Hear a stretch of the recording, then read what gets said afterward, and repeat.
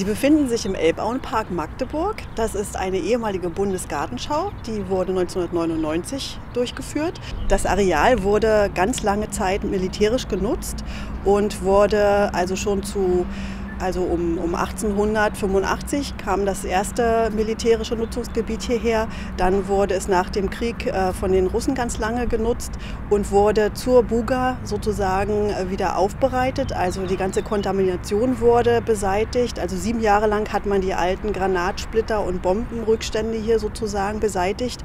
Und äh, nach dem Krieg, nach dem Zweiten Weltkrieg, wurde auch genau hier an dieser Stelle der Trümmerschutt von Magdeburg, sieben Meter hoch, gelagert. Und zur Vorbereitung der Buga musste das natürlich hier alles beseitigt werden. Und dafür hat man sieben Jahre genutzt. Die Buga hat sozusagen drei Gestaltungsmerkmale. Einmal trifft die Stadtlandschaft auf die ehemalige Kulturlandschaft und verbindet sich hier entlang der Elbe mit der Naturlandschaft. Und das ist das Besondere hier, dass dieser moderne Landschaftspark genau an dieser Stelle diese drei Landschaftsbilder verbinden kann.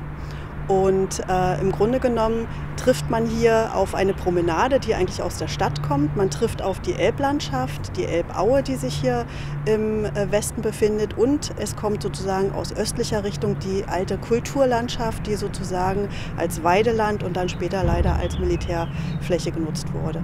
Das Besondere des kleinen Krakauer Angers ist, im Rahmen der Buga wurde hier die erste und größte Leimbinderkonstruktion ganz Europas erstellt, und zwar der Jahrtausendturm. Ähm, und das ist natürlich jetzt ähm, das wichtigste, der wichtigste Anziehungspunkt und die wichtigste Attraktion auf dieser Angerseite. Das Besondere um den Turm herum ist in der Landschaftsarchitektur hier, dass wir neun Themengärten um den Turm herum gestaltet haben, die Themen aus Politik und ähm, Geschichte Magdeburgs sozusagen interpretieren und die Landschaftsarchitektur hier sich mit Themen auseinandersetzt, um die gestalterisch darzustellen. Also wie Kunstwerke wurden hier Themengärten geschaffen, die eine ganz besondere Landschaftsarchitektur und Formsprache darstellen.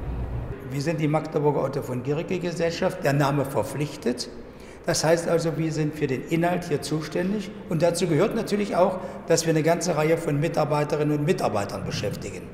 Meine Aufgabe ist der Verantwortliche für diese Ausstellungsbetreuung im Jahrtausendturm.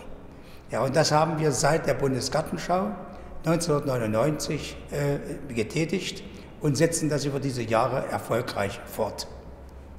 Das heißt also, wir sind zuständig für die Ausstellung im Turm und für den Inhalt. Und uns kam es darauf an, nachdem wir das in der Zeit in Zürich gesehen haben, auf der Heureka, Heureka heißt ich hab's, da hatten wir den Galileturm, da waren wir mit unserer Ausstellung über Gerke damals nur drin, im 17. Jahrhundert. Und das war für uns so ideenreich, dass wir gesagt haben, wenn die Buga nach Magdeburg kommt, dann könnte man etwas Vergleichbares hier in Magdeburg machen. Gesagt, getan, der Stadtrat hat beschlossen, der Turm wurde gebaut und hier in diesem Turm kam dann eine sehr ordentliche, qualitative Dauerausstellung. Warum eine Dauerausstellung? Wir haben hier in diesem Turm einen außerschulischen Lernort geschaffen, als eine Komponente, gedacht für Schüler, für Schüler aller Altersstufen, sogar auch schon vom Kindergarten angefangen bis hoch zu den Abiturstufen bis hin zu Studenten. So, und hier haben wir uns folgendes Konzept erarbeitet, ein didaktisch-methodisches Konzept, das besagt, kommen Schüler erstmalig in den Turm, dann machen die nur eine Schnupperführung. Das heißt, sie werden durch den Turm geleitet, durch unsere Mitarbeiter, die wir haben, schauen sich das an, nehmen natürlich erstmal Informationen mit, und dann kommt es darauf an, dass wir die Schüler natürlich wiederholt in diesen Turm bekommen. Die sollen also nicht nur wieder kommen, sondern sie sollen ja im außerschulischen Lernort etwas dazulernen, was über die Pläne der Schule hinausgeht. Dann haben wir dann angeleitete Führungen im Turm, wo unsere Mitarbeiter zunächst bestimmte Experimentaleinsätze führen in Anwesenheit der Schüler. Die nächst höhere Form ist dann, dass die Schüler selbstständig arbeiten. Selbstständig arbeiten heißt, dass sie bestimmte Versuchskomplexe eigenständig durchführen und aufgrund der vorgelegten Arbeitsblätter sollen sie dann ihre Ergebnisse äh, formulieren, aufschreiben und im Klassenunterricht in der Schule später soll das Ganze ausgewertet werden.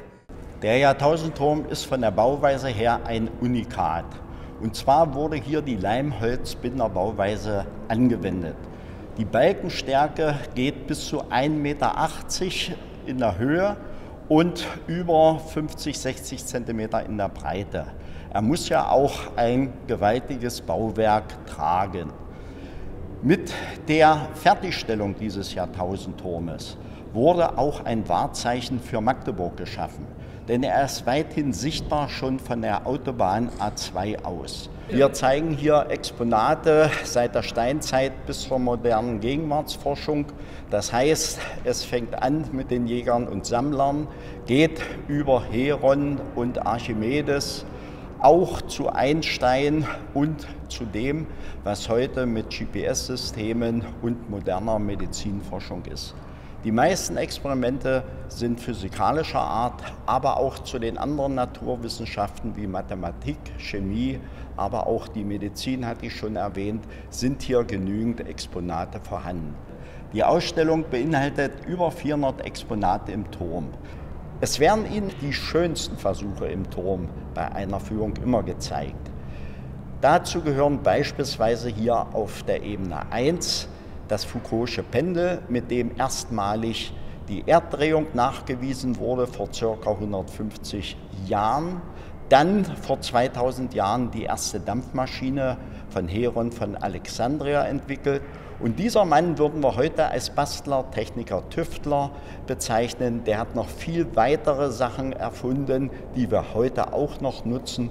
Beispielsweise haben wir aus dieser Zeit, erstes Jahrhundert nach Christus, eine automatische Türöffnung. Und zwar war das für die Tempel vorgesehen. Die funktionierte und bei Ausgrabungen auch nachgewiesen wurde.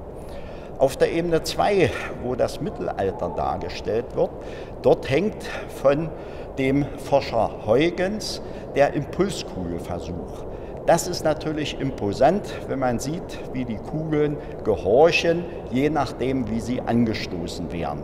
Eine Kugel mit 60 Kilo Gewicht. Im schiefen Zimmer wird die Sinneswahrnehmung getäuscht. Und zwar erscheint ein Besucher, der sich links reinstellt, kleiner als wenn er rechts drin steht. Ja, dieses ist so verblüffend, vor allen Dingen, wenn die Besucher an der Hinterwand des Zimmers aufwärts gehen, denn unser Gehirn verarbeitet immer nur den Abstand von der Schädeldecke bis zur Zimmerdecke. Und ist da ein großer Abstand, erscheint man klein und ist der eng, erscheint man groß. Die Besucher erwartet von der Turmspitze ein fantastischer Rundblick über den Elbauenpark über die Elbe mit der Lukasklause. Ich kann nur alle Besucher recht herzlich hier einladen, denn 2,5 Millionen Besucher in der letzten Zeit können sich nicht geirrt haben.